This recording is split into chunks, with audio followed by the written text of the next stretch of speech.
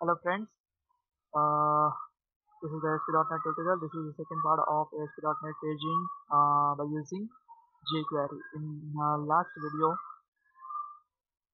uh, we have implemented next button uh, by using the jQuery.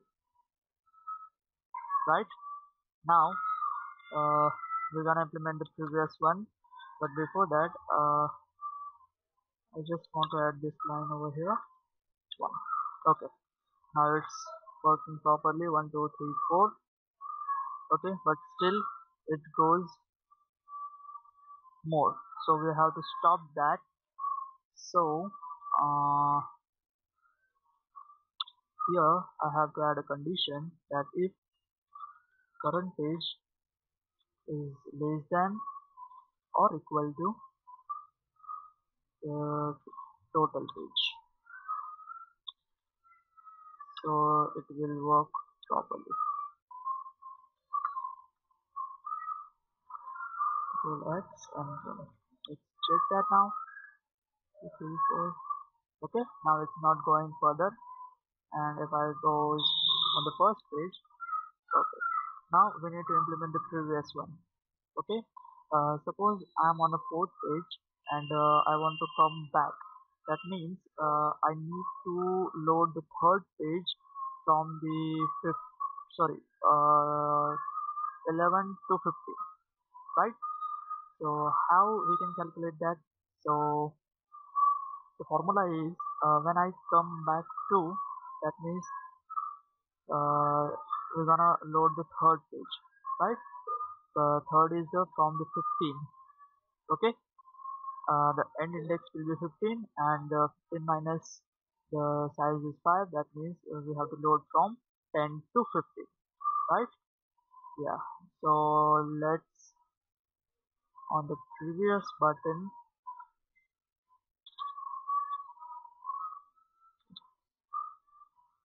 We need to implement over here dollar. On the previous button click function.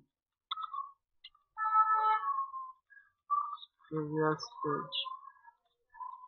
Okay? First page and after that function and the previous page. Okay? Again we need to take all these things but this time not current page plus plus but this time we need to do minus okay? And after that uh, also a single condition that if current page uh, should greater than 1 greater than or equal to 1 right? Only in that situation the paging will happen. Okay after that we have to find the end index and uh, start index. End index will be the page size into the current page and uh, the start index would be the uh, end index minus current page. Let's alert this. Start index plus end index. Okay. Suppose I'm on a fourth page. Now I'm uh, coming back so 10 to 15 yeah it's right for third page right? Okay. So we are on our right direction. Just implement this for loop and uh, all this stuff over here. Okay. On our fourth page on the next 11 to 15 6 to 10 and 1 to 5 after that the previous page will not work right guys. I hope you have enjoyed this video. Enjoying this video right? Okay. Uh, now we're gonna implement the last page okay? This is the simplest page implementation.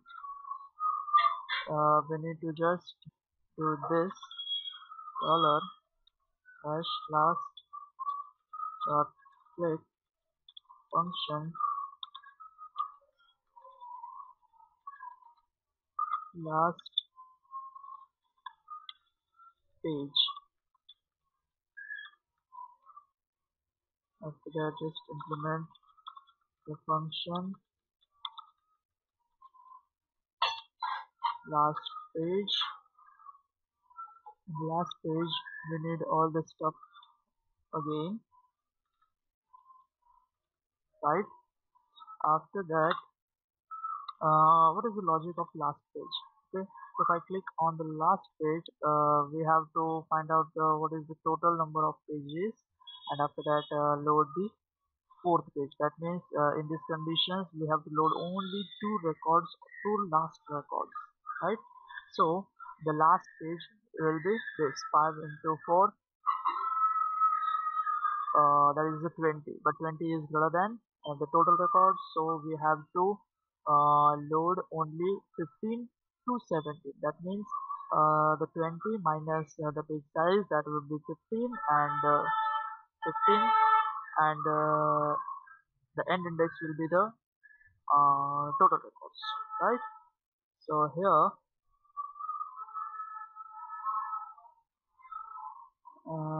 we'll find the start index and end index what is the page size page size that is the 5 and the current page okay? Uh, we don't need to use current page we need to use the total page that is the 4 okay? Is equals to 20 and start with the this but we have to add a condition over here that the end index should not greater than the total records right? And if this happens then the end index is equals to becomes the total records. Okay? And again we have to implement this stuff over here. And the current page would be the total page. Let's do it.